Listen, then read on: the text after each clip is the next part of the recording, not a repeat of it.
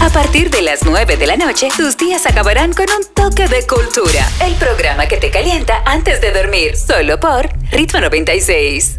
Comenzando la noche de hoy, pues tenemos un consulta breve, pues estaba ahí verificando los DMs del programa. Siempre es bueno. Y un joven pues envió el mensaje de, de por Instagram. Mensaje. Van ahora haciéndome seña aquí, vaina. La cama estaba muy alta. Claro, eso baja ahora. eso baja. ese camarote. Ahorita vienen y dicen que tú estás pasando huevo ahí. No, no, no, eso se arregla en Adobe Audition. Tranquilo. Ah. Eh, Tú sabes que tenemos Adobe en eso, los controles. eso, manito. Pues el joven nos mandó un DM y lo quiero leer en este momento porque es breve, me llamó la atención y fue muy sencillo. Y a la misma vez fue muy curioso y muy chistoso. Primero que nada, la cuenta de él, que creo que puedo mencionarlo para que lo sigan. Pies de hombres. Se llama. ¿Eh? La, cu- la cuenta de Instagram, pie de hombres. Ay, ¿Y por qué tú la mencionas? Es una cuenta falsa, o sea, no tiene una persona detrás. Es el punto un es que él manda un DM diciendo de la siguiente manera y es un pequeño consulta. Atención, Manauri, que no lo voy a repetir. Dale. Hola, ¿qué tal? Tengo 24 años, soy hombre, tengo atracción por los hombres, pero me gustaría casarme con una mujer para tener mis hijos, pero cuando quise tener relaciones con una mujer, no tuve una erección. ¿Qué puedo hacer? Pero él vive en otro mundo. ¿eh? Está perdido. Eh, more, o sea, él quiere tener sus hijos. Él quiere tener sus hijos, tiene ese sentido paternal, Mm, pero lamentablemente quiere ser- ajá. le atraen los hombres. Y él quiere hacerlo de la forma natural, lo más natural posible, hacer, que es... Pero eso no lo decía ahí, que él lo quería hacer de la forma más natural. Mi amor, te- posible. si él le gustan los hombres y quiere tener sexo con una mujer para quedar embarazada, es la forma natural, Bueno, hay otra no, forma. tal vez son estigmas sociales, qué sé yo. Hay, hay forma. No, no, no, hay Bueno, formas. Puede ser que él quiera que, tú sabes. Va a sonar No sé. cruel, pero hay una forma. Que haga un trío con su pareja y una mujer y al momento ya que él sepa que vaya a venir, Voy a Llega, llega quítate, ya. quítate, Juan. ¿Es verdad? Punto. No, no, eso problema resuelto. feo. Ahora, yo Feo. tengo- una gente que tenga que recurrir esos, a esos artilugios no puede tener muchacho. Bueno, él tiene el deseo de tener un hijo, lo que Suena pasa es que por, eso, biolo- pero por no. biología no puede tenerlo con otro bueno, hombre. dicen que no existe el derecho a tener hijos. No cómo? existe el derecho a tener hijos. No, que existe el derecho a ser hijo, me parece que es así. A la vida en general. No, no, no, no. no. No, hay un derecho a ser- Explícate y pégate al micrófono. Gracias. Eh, no es que tú tienes el derecho de ser padre, sino que el hijo tiene el derecho a ser hijo. Te entendí. No me ¿Cómo? entendiste ni mierda. No, yo te entendí, no te entendí.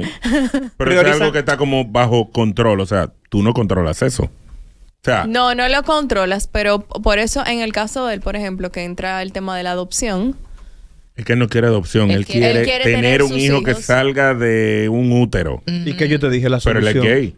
Pero la No, solución. no. Pero ¿Cómo tú le vas a contar a tu que, ¿Cómo fue que yo nací? Ah, hice un trío. Ah, exacto. Cuando, no, no, Pero es peor que le digas, naciste en una incubadora o una inseminación artificial. Lo que ¿no? yo pienso es lo siguiente, usted tiene que saber tomar la decisión de vida. Si usted entiende que su sexualidad es homosexual y usted va a estar con un hombre, tiene la opción de adopción. Ahora, si usted quiere tener un hijo de que de otra mujer, tú también tienes que pensar en la mujer que está pariendo ese muchacho. Tú no puedes nada más pensar en ti. Exacto. Porque la madre. ¿dónde dejamos la madre? También. Él O sea, está, yo- él ¿Tú está imaginas- tú imaginas el bullying de ese menor en, en el colegio? Es lo que te digo. Es como si él estaría dispuesto, o sea, al momento de que encuentre esa persona que quiere como la madre de su hijo, o sea, que para la madre, bueno, para su hijo, obviamente, él va a tener algún vínculo, se va a quedar con ella, ¿cómo va a ser esa relación? Porque Que le pregunte como a él Ricky la- Martin. Como él la quiere, en verdad, eh, como una relación de tres. Juan Esteban tiene dos muchachos. y pero él no dice Pero eso que él la antes de- quiere como una relación de tres. ¿Antes de qué? Antes de Pero antes de qué, porque como Juan Esteban es homosexual desde que tiene uso de razón y él mismo lo ha dicho. ¿Antes de qué? Él hizo un sacrificio y tuvo sus dos muchachos. No, no, no. Él no lo puso así porque él no fue que tuvo relaciones con mujer y tuvo su muchacho. Él estaba casado. Pero tuvo sus hijos o no. Pero está bien, pero estaba en una relación de amor con una mujer. Que tú hayas tenido tus decisiones en la vida de decir, bueno, me gustan los hombres en medio del camino, está bien. Él va a vivir Él no lo dijo en medio del camino, Juan Esteban, desde que tiene uso de razón. Él lo ha dicho, siente atracción por los hombres. Lo que Y pasa por las mujeres también, En un primera dijo. instancia, él se definía como bisexual. Eso tenía atracción por las mujeres, ¿verdad? Está bien, se Pues ya.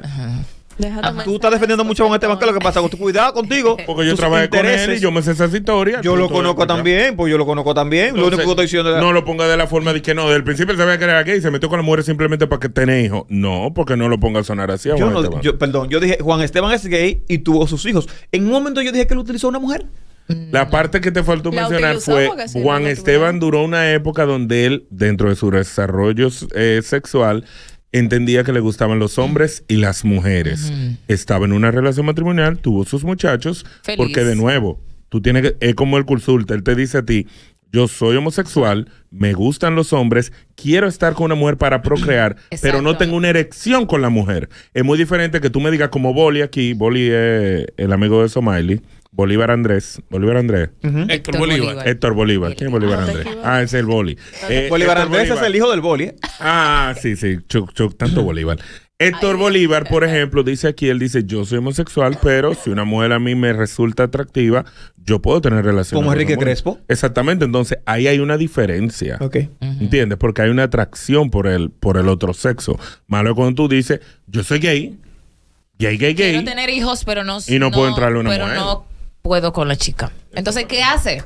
Porque él quiere tener Yo di la pero- solución. Que él está buscándole la raíz cuadrada a, a- a Yo no tuviera tiene. muchacho. Oye, que lo que, manito, yo te voy a dar el consejo de, de la noche.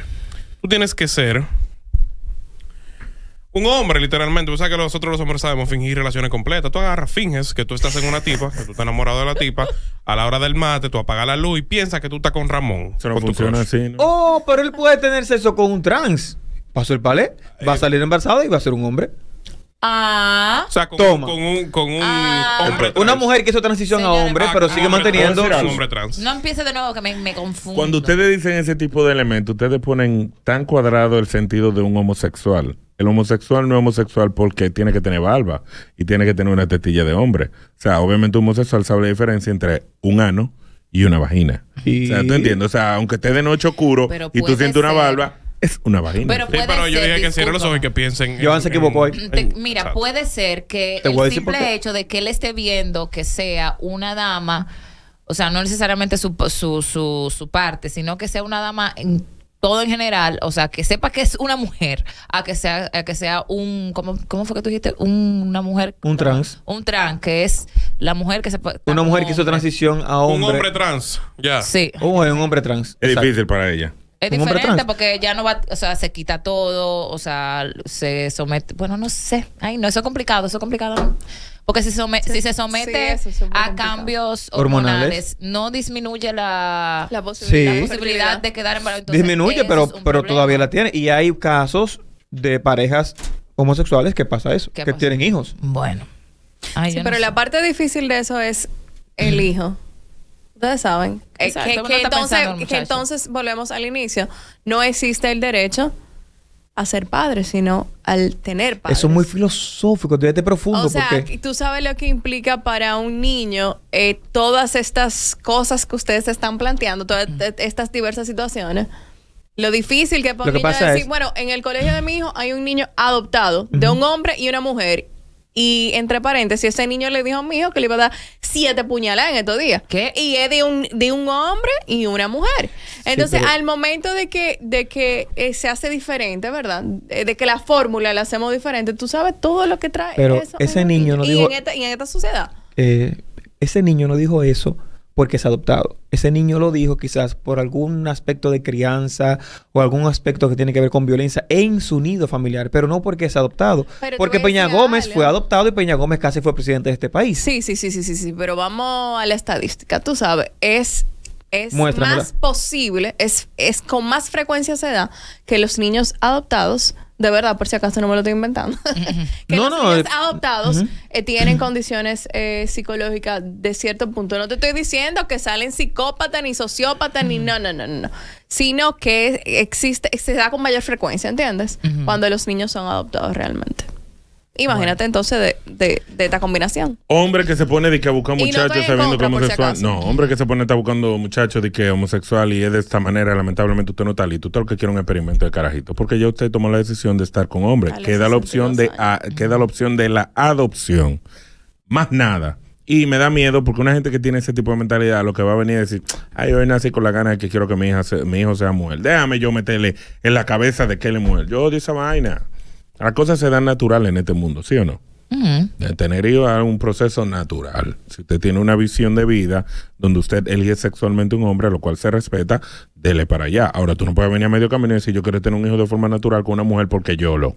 Yo creo que la, la preferencia sexual no se, no se elige. La identidad de género quizás tú puedas de una forma u otra manejarla, pero la preferencia no, porque independientemente de lo que tú te pongas, te vistas o como sea que tú quieras verte, tú tienes una predilección por un sexo X que te atrae biológicamente, químicamente. Entonces, tú puedes elegir o no vestirte de mujer, tú puedes elegir o no, elegir o no hacerte algún tipo de procedimiento para aumentar tu cuerpo, verte como el sexo opuesto, pero tu preferencia sexual, esa gente que a ti te gusta, eso tú no puedes manejarlo. Entonces, cuando la gente dice, por ejemplo, si tú eliges que te guste un hombre, nadie elige que le guste un hombre, es que le gusta un hombre. Está bien, pero ¿cuáles son las consecuencias de? O sea, cada cosa en la vida tiene una consecuencia, que ahí es donde viene eso de la identidad de género.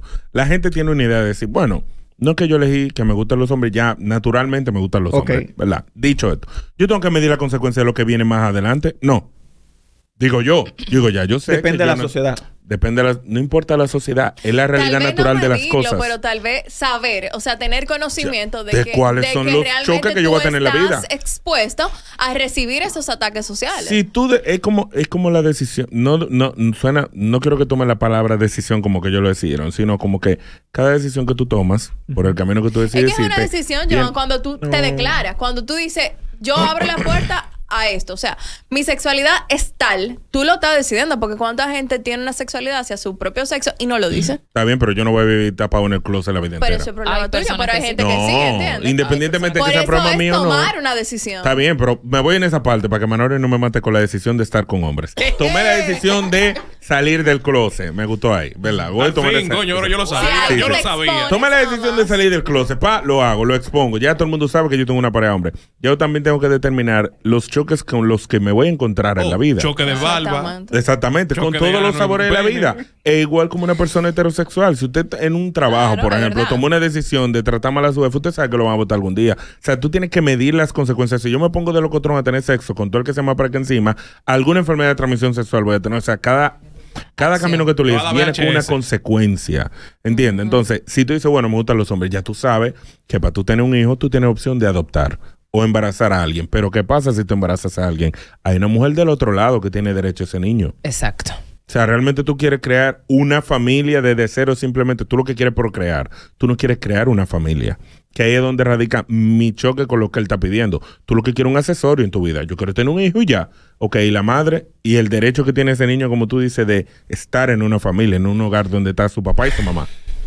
En Pero el caso ¿por de ese qué? gay, mu- hombre, Perdón, hombre. perdón, pero ¿por qué tú, tú y todo el que piensa así entiende que una relación entre dos hombres o dos mujeres, una pareja con una identidad de género diferente a lo heterosexual, no es una familia? Yo no, No, dije pero es eso. que nadie ha dicho eso. Perdón, él dijo, el niño Yo tiene no derecho. dije- Perdón.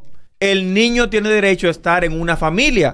Padre, Estás en- madre, padre Perdón. padre, dije al final. Perdón, perdón. Usted dijo, el niño tiene derecho a estar en una familia. Padre, Deja madre, padre, subentendido de que una relación homosexual no, es una familia. no, no, no, eso lo dijo usted. No, lo que pasa es que como él lo planteó, su, consu- su consulta, es como, ay, quiero tener un hijo, pero Un accesorio. no, no me, o sea, no funciona cuando estoy con la chica.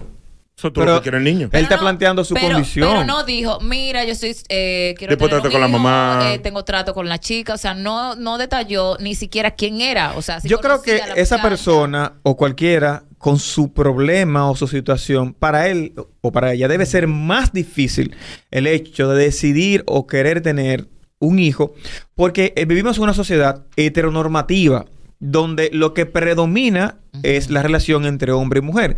Todavía hoy en día en República Dominicana las relaciones homosexuales tienen algún tipo de prejuicio. En una sociedad así, dos hombres con una criatura van a ser mal vistos, aunque sean los mejores padres del mundo, pero van a ser mal vistos. Entonces, el hecho de él exponer esa realidad y ese deseo, ya para mí lo hace merecedor de que realmente quiere tenerlo. No lo veo como un adorno, porque si fuese así, comprar un perrito, la mayoría de lo que hace que tiene animales, él quiere tener un hijo o una hija. Claro, la forma en la que lo quiere tener es lo que estamos cuestionando, no el deseo de tenerlo, creo yo. A menos que yo no lo conozca. Bueno, buenas noches, dime tu opinión. Sí, buenas noches. Oye, muchacho, eh, ah, difiero ahí con el pana que dice que Manauri, Manauri. exacto. Eh, ahí con ese, con el pana, porque es que, mira, te voy a poner mi caso. Yo tengo mi pareja hace cinco años. Pero, y muchas mujer. veces la gente te hace- No, hombre. Ah, Ah, tú eres, tú eres el que, me cae bien. Sigue. El-. Eh, o sea, estoy hablando en base a lo que él dijo, de que todavía aquí hay mucho prejuicio con los homosexuales. Y en verdad no. Aquí ya la sociedad ha como que haya... eh, eh, ya la sociedad como que ya ha abierto un poquito más la mente en cuanto a eso. Te lo digo en base porque yo con mi pareja, o sea, en la calle, he agarrado de mano y toda la vaina. Y la gente no, no tiene ningún perjuicio por el momento, no me ha tocado. Gracias a Dios. ¿Y qué tú piensas de No la me ha tocado. paternidad? Perdón, ¿Qué piensas de la paternidad con tu pareja? yo Ajá. quiero seis. ¿Tú quieres ¿Cuánto seis tú quieres? ¿Y cuál sería el método Seis que tú muchachos. consideras eh, apropiado en tu caso? Bueno, el método apropiado sería por una inseminación. Okay. Ya eso lo hemos hablado. O sea, que, que, que tú me quieres decir que me, que me calle. No. No, no, no, no, no, con tu pareja? O sea que ¿A ya lo he, ya entre mi pareja y yo, No ya ese tema ya, ya se ha hablado. Mm, ya, muy bien, buena idea. Gracias. yo quiero- Serás un buen se ha padre. hablado y hay, hay metas primero y después que se, cum- se cumplan esas metas, bueno, pues vamos a eso. Ah, pues bien. Ya, yo Él quiero- es un buen padre. Él me cae Yo bien. estoy una cosita al pana. Dile. Ya, dile. No sé si tú sabes lo que es vicio de contexto. El hecho de que en tu entorno tú no sufras discriminación no significa que la sociedad haya aceptado abiertamente el tipo de relación homosexual. Móntate en una onza, móntate en el metro, sal del el polígono central de Santo Domingo y tú te vas a dar cuenta de que todavía persiste ese tipo de rechazo. Cuando uno se reúne mucho en un círculo, uno tiende a pensar que toda la sociedad responde a los mandamientos de ese círculo. Pasa en el trabajo, pasa en los deportes, pasa en el entorno aquí como estamos nosotros. Eso es vicio de contexto. Sal de ahí y tú te vas a dar cuenta. No, él No, de hecho, Mejor, bueno, que antes. No, la que sociedad antes. ha sido más tolerante por la generación de nosotros que ha sido disruptiva, la generación final de los 80, principios de los 90, que ha tenido que emigrar a lo digital y se ha abierto un mundo donde ve que en Estados Unidos, en Europa, eso no es tanto como aquí. Sí. Pero todavía nuestros padres y abuelos mantienen esa idea de que no, eso está mal. Ahora, ¿debería importarme? O sea, en el sentido yo, como, tema como ser sé. Es un tema muy singular de tu parte, que te importe o no. O sea, lo que te digo, o sea, él está bien con Por ejemplo, a mí no me importa que te haciendo importe. A mí no me importa, porque yo... Ni a mí me importa que no te importa, que me importa, que me importa. Mientras no le haga daño a nadie, a mí no me importa. Yo siempre he dicho, usted es homosexual, usted está haciendo su trabajo, usted está siendo un ente que aporta a la sociedad. Puede hacer lo que te dé tu gana. Mientras tú no le hagas daño a nadie, tu sexualidad es tuya y con quien tú desees estar es tuya. Yo no tengo por qué buscarte. eso es cierto, pero entonces, ¿los hijos?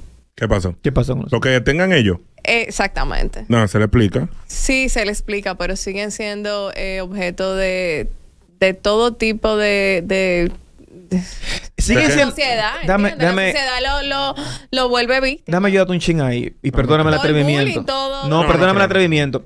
La sociedad en la que tú te criaste, en la que yo me crié, pero la sociedad en la que se están creando nuestros hijos, ellos ni siquiera perciben eso de homosexual, bisexual. Ellos no perciben nada de eso porque se están creando un entorno Yo donde no eso. creo que este país Perdóname. esté preparado para eso. no. nuestros Todavía. hijos, nuestros hijos están tampoco, criando, nuestros, tampoco. nuestros hijos se El están fuerte, ¿tú Gracias. crees, Y había Gracias. cuando yo era muchacho sin ser homosexual. No, pero ahora la vaina es... Nuestros hijos se están criando en un ambiente donde la sexualidad es totalmente normal porque ellos lo bombardean desde Disney, desde Netflix, desde, desde donde sea, lo bombardean y van creciendo con la idea de que la sexualidad o la diversidad sexual es algo muy normal. De hecho, debería ser normal tú tener una preferencia sexual como tú quieras. Lo que no debería ser normal es que tu preferencia agreda o transgrede el derecho de otros. Eso es lo que no tiene que ser normal. Pero vamos a ser sinceros, la heterosexualidad es lo que más ha agredido en la historia el derecho de cualquier otro tipo de Buenas noches. Buenas noches. Mira, eh, ¿cómo están, muchachones? Está muy bien, cuéntanos. Qué bueno. Iba a diferir bastante con el muchachón que está hablando. No me no pude oír el nombre. Con Manao. Pon mi nombre ahí, yo, para que lo vean. Dale. Con lo que dijo, con lo que dijo ya voy un poquito más acorde. Pero hay algo que hay que entender. Familia, como estaba diciendo Joan, se compone de un hombre y una mujer. Punto. Ese es el término. Eso es como va desde la historia y así es como viene. Si no tuviera otro nombre y se compusiera por otra forma. Familia. Que quieran modificarlo, ya eso es otra cosa. Ahora, ¿tienen derecho a tener hijos? Sí. Lo que no tienen el derecho es, como él mismo acaba de decir, a reclutar a todo el mundo y que todo el mundo está mal No, por no mi parecer. hijos.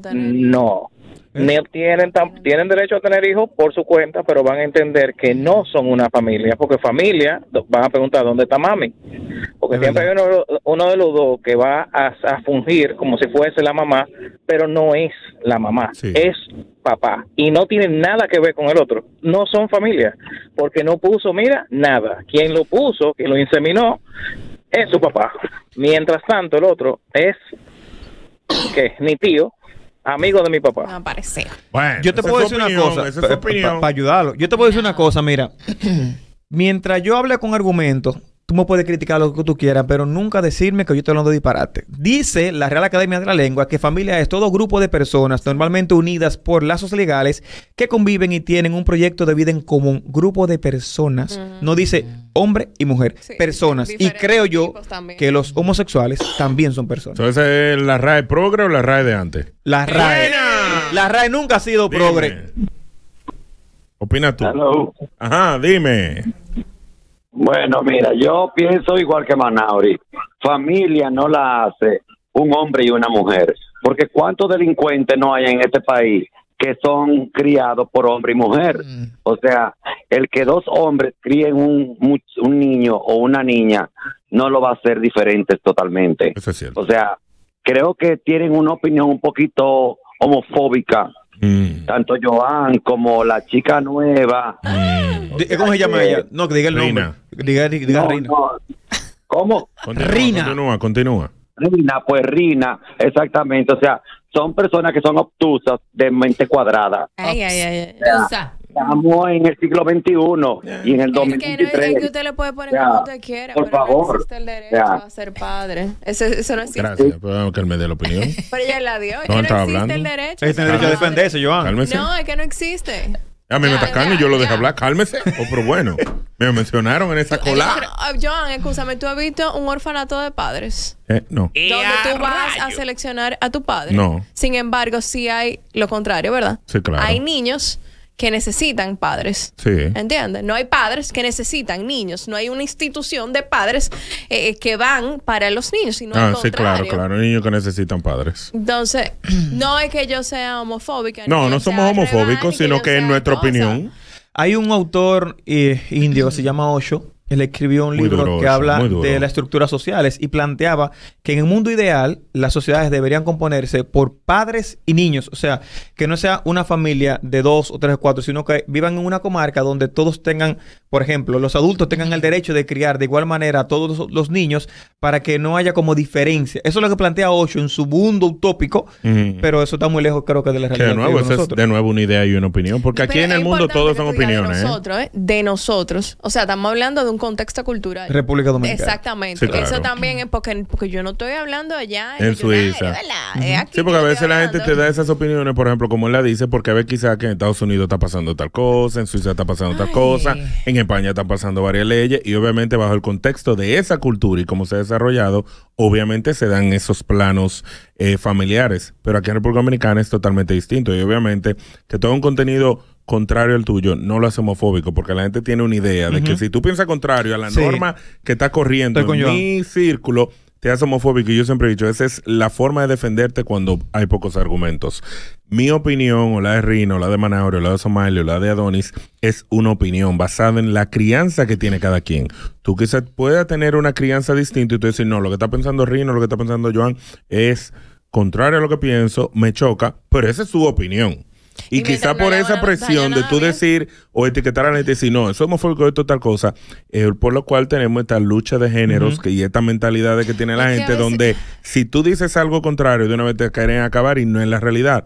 Yo soy creyente de la lluvia de ideas y opiniones. Tú puedes dar tu punto, por eso se reciben llamadas y tú puedes dar tu opinión, yo puedo dar la mía y cada uno llega a un contexto medio donde tú dices, coño, quizás lo que tú dices en parte está correcto. Sigo pensando lo mismo, pero respeto lo que tú piensas. Por eso es que yo a la comunidad LGBT le tengo una crítica y siempre se la voy a tener. Dentro de ese conglomerado donde hablan de aceptar y de integración y de inclusión no incluyen la heterosexualidad. Se supone que la idea es que todos podamos, todos Convivir. y todas podamos convivir.